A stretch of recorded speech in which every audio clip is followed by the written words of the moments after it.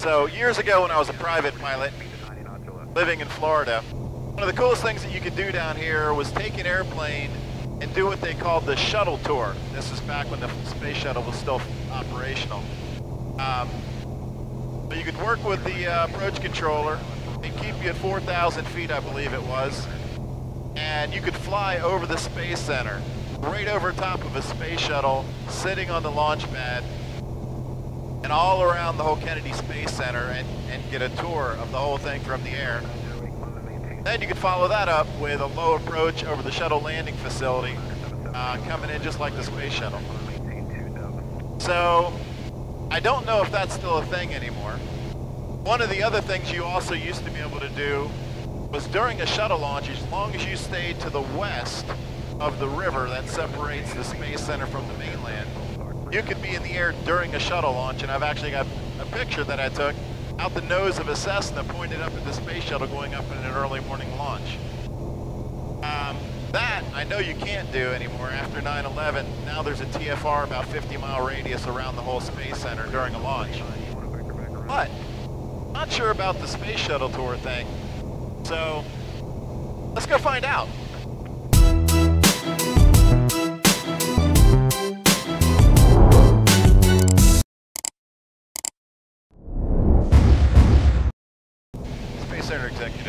15600.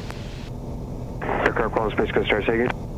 That's Arrow 15600, about 8 miles uh, out to the northwest. Got a question for you if you got a minute. Yeah, go ahead. Yeah, so it's been a while since I've been over in the Space Coast area, but I know years ago you used to be able to get on like with Patrick Approach and request uh, like the shuttle tour around the, the cape. Is that still a thing? And, uh, Arrow 600, uh, yeah, you can't do a tour around there. Uh, you can do a low approach over the shuttle landing facility if that's what you want to do. Yeah, but they don't let you fly over the launch pads anymore? Negative. Okay. All right. Um, yeah, all right. Well, what I'd like to do, if I could, is uh, come inbound and land there, and I'm going to set up a camera, and then I'll, I'll take off and request that approach. Arrow uh, 600, ident, do you have information, Lima? I do have Lima and ident 15600. Arrow 600, enter a uh, left downwind runway 36, report midfield. Okay, report midfield, left downwind, uh, 36, 15600. So I was hoping that one I could still do the, uh, the tour of the launch pads out there, but I guess that's no longer a thing. So go down here, I'll set up a camera on the wing, and at least we'll get to go do a low approach over the, uh, the shuttle landing facility, and should still get some decent views of uh, the vehicle assembly building and a little bit of the space center out there.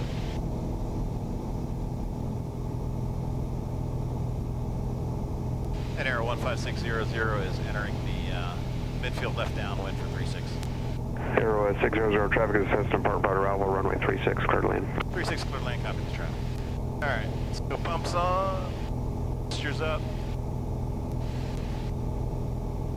And Cessna 150 Lima Golf, now web plate, change in frequency on route, thanks for your help. Hey, gear down. This is Lima Golf, frequency change approved.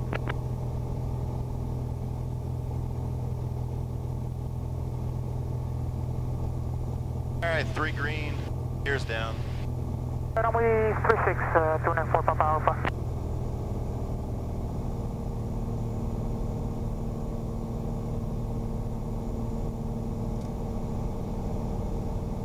Alright, gas, undercarriage, mixture, props to go, seat belts and switches. Turn to base. Space Coast Tower 926 Papa Alpha, holding short on taxiway Alpha, runway 36, ready for takeoff. Archer 926, Pop Alpha, Space Coast Star, hold short of runway uh, 36. Holding short, runway 36, 926 Papa Alpha. Props are up. Turn and final. Gas, undercarriage, mixture, props, switches, seat belts. Clear to land. Space Coast Tower, Turkey 8279 November, reporting a 3 mile left base for rolling 36. Final flaps. Shark 79, remember, continue uh, inbound on a left base. Continue on left base, for 36, 8279 November. Space Coast Tower 508, 9 Romeo, uh, right midfield for runway 36, full stop, taxi back, 89 Romeo says 89 Romeo, continue downwind, on car base. Continuing downwind, you'll call base 89 Romeo.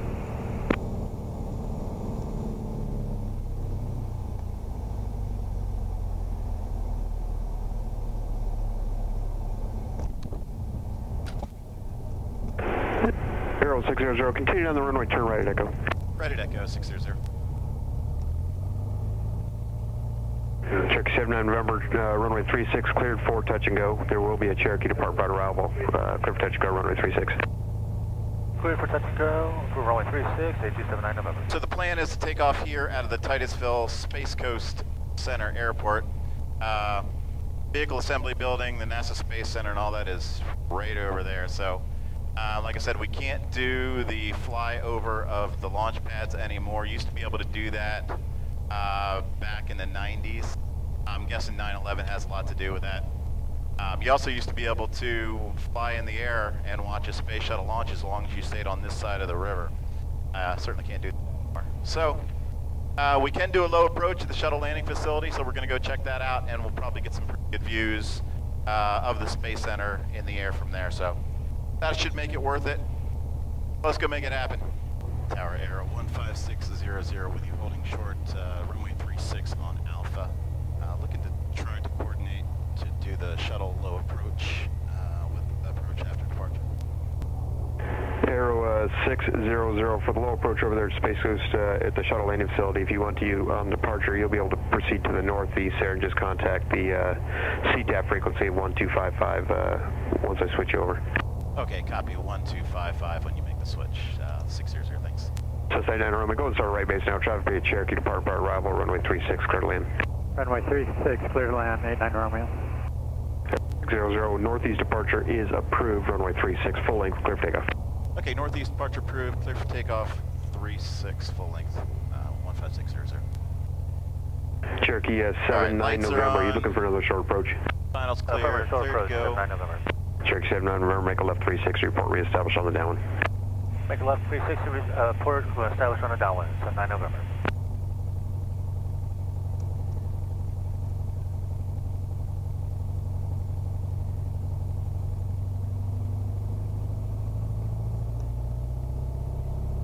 Skyflight 438, contact Orlando departure. Over to Orlando, Skyflight 438, see ya. See you.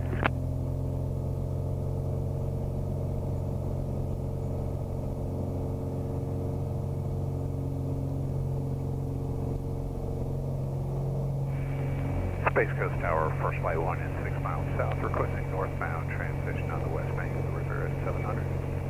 First flight 1, uh, northbound transition is approved at or below 500 feet. Those are at or below 500 in first flight one. Cherokee uh, 7 9 make another left 360, make it a little bit wider this time. Three- Uh, left 360, 9 November.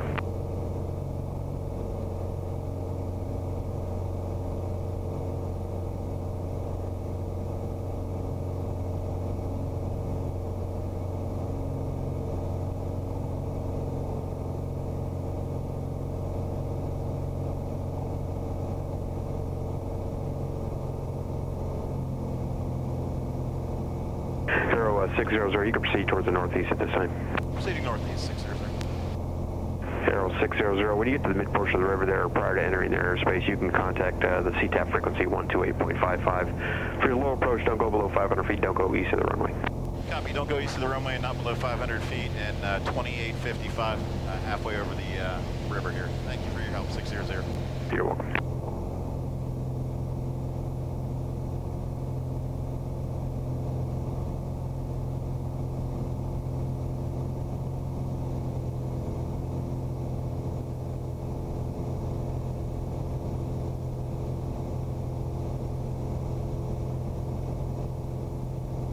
Cherokee uh, 7-9 November. Uh, traffic is a helicopter about two miles south in position over the uh, west bank of the river there, northbound at or below 500 feet. Do you have in sight?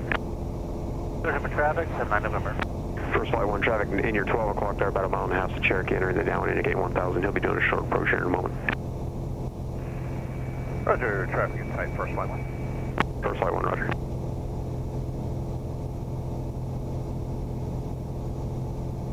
Tower Arrow 15600 request.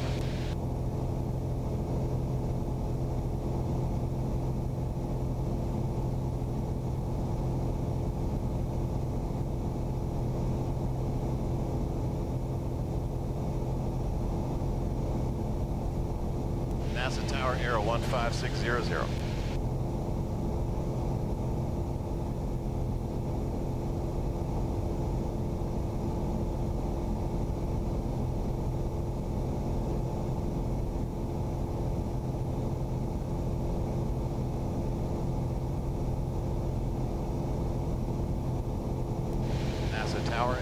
15600.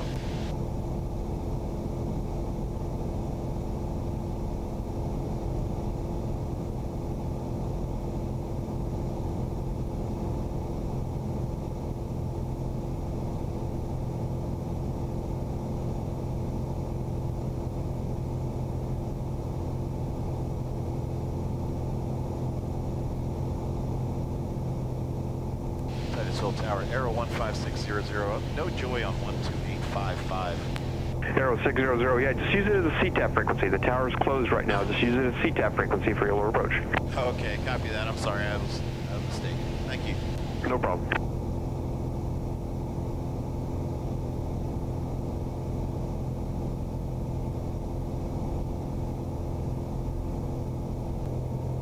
Space Center traffic, Arrow 15600 is just over the river.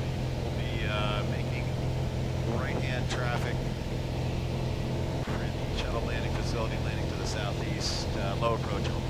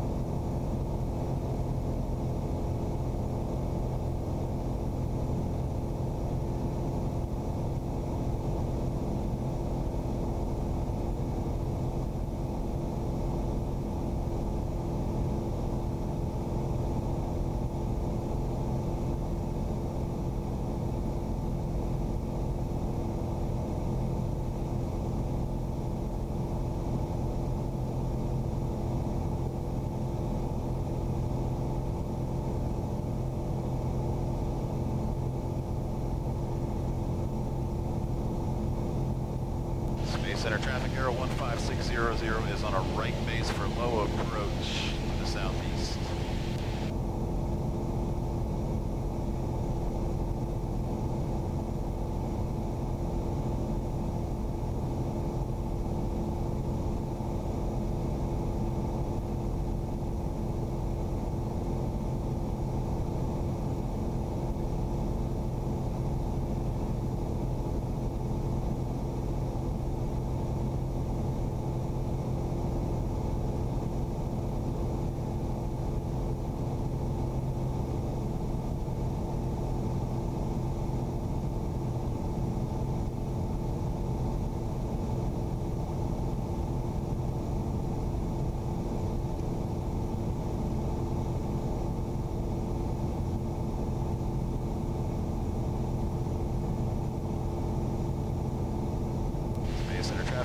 5600 is turning final, off the low approach over the runway to the southeast.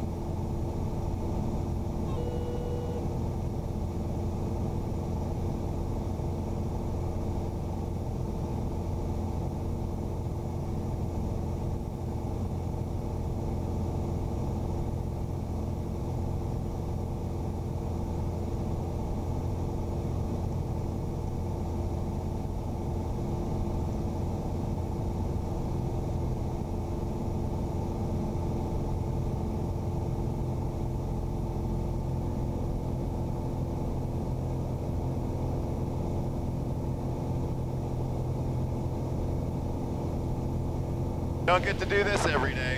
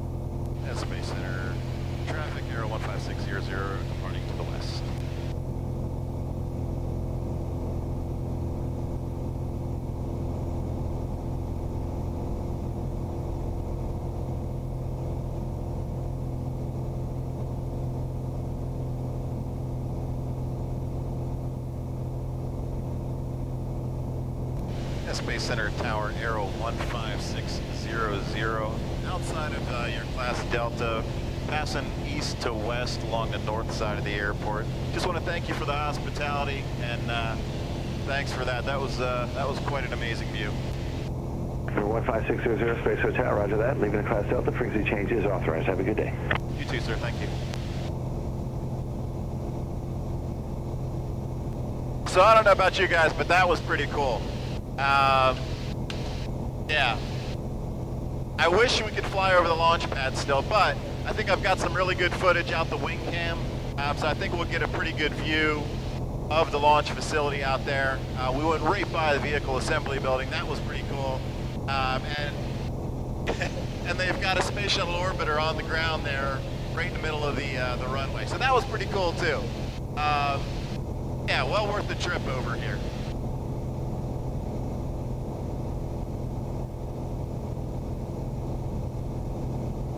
So I wasn't sure how that process was going to work. Uh, it's been a while since I've been over in that area. I didn't know if I was going to have to talk to the approach controller or not. Um, but in talking to the uh, guys at Space Coast Tower there, uh, which is right on the river, uh, just before you get to the Space Center, um, they said to just contact the tower frequency over there. I was a little bit confused. I didn't realize what he was saying is go to the tower frequency and use it as a CTAF. I didn't realize that that tower was closed. I don't know if it's always closed or not. Um, but anyway, so that all worked out. That was really cool. Um, yeah, glad we did that. So hope you guys enjoyed that. Um, I know I've been away for a while. I've had a lot going on with work and some training and all that kind of stuff, but happy to be back. I've got some other content coming up, got a lot of things planned, so stay tuned for that. What a beautiful day to fly. It's so nice now. Summer's over, it's fall. The weather in Florida is going to be beautiful like this for like the next seven or eight months. So, if anybody tells you it's hot and miserable in Florida, it is in the summertime. Most of the year, ah, it's fantastic. Great flying weather. I mean, I'm at 1,500 feet and it's pretty smooth out here. I uh, love it.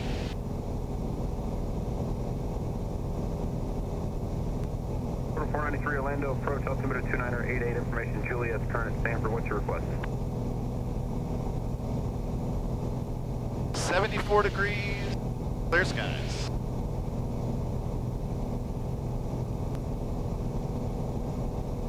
So, here's something I'm going to throw out to you guys. Give me some feedback in the comments section if you would on it. So I was thinking about doing a few videos based on some common questions that I get asked a lot as a, as a commercial pilot when I'm at work. Um, one of the questions I get asked a lot is, you know, how do you become a pilot? You know, how do you get your license? How do you work your way up? How do you get to the airlines? And so I, I have, you know, lengthy discussions. I don't, I love answering questions. So I'll have that conversation um, probably at least once or twice a week, it seems like. It's, sometimes it's a parent asking me for a child, or a lot of times it's, you know, teenage kids asking me that, or um, I've even had some, some adults that are looking at maybe their second career, and, you know, would this be a good idea kind of thing. So I was thinking about doing a video and just kind of address all that and put it out there on the channel. Let me know what you guys think about that. Um, the other question I get asked a lot is, you know, what is it like flying for the airlines? Like, you know, what's the schedule like and how do you uh, pick airplanes that you fly? You know, where do you go? What are the overnights like? That kind of thing. Um, so I also thought about doing a video on that. Uh, but I'd love your feedback. Let me know if that's something you think I should do, if you guys would be interested in watching it. And anything else you'd like to, uh, to see, feel free to throw that out there. A couple things that I've got coming up. Um, I'm going to get a dynamic balancing done on the prop. Also, the prop is coming up for an overhaul. Um, it's still got plenty of time on it as far as hours, but as far as uh, years, it's kind of coming up due for that. So I'll do that. I'll take you guys along with me to get that checked out. Um, another thing that I've uh, noticed, there's a little bit of a differential between my altimeter and I've got a backup. They're both in sync. Um, and what's getting put out on my transponder. So I think that's a problem with my altitude encoder. So we'll go to an avionics shop, we'll get that checked out, see what they think of that. So that'll be coming up in the future. To look for that. Also, now that it's finally cooled off, I have got quite a few questions about, you know, the interior of the airplane after I did the renovation. Um, one of the things that I did for all, like a lot of the side panels and things is I did not put screws back in. I decided to try Velcro, see how that works, because it's a nicer appearance, and I thought in most areas it worked pretty good. So, two things. One, I'm going to do a video to kind of talk about that and let you guys know how it how it is holding up. It's been holding up over the course of a year. Um, and I'll let you know ahead of time, a little sneak peek. There's a couple areas where I think I'm going to put screws back in, uh, just because of a lot of use, like when this door opens and closes is one area. But I've been waiting through the summer because I'm not working in the hangar uh, in the summer heat in Florida for sure. But now that the weather's cooled off, we'll be coming up on an annual inspection in January, so I might hold off on that because for the annual I've got to pull all this interior out anyway. Um, so I might hold off and do it when I put the interior back in. Or I might do it ahead of time, we'll see. Um, but so that's another video that'll be coming. But yeah, let me know if there's some things that you'd like me to talk about, um, things you'd like to see, and I, I'd be happy to put something together for you. Hope you guys enjoyed the video. Give it a thumbs up if you would. Don't forget to subscribe to the channel. Thanks so much for watching. We'll see you on the next video.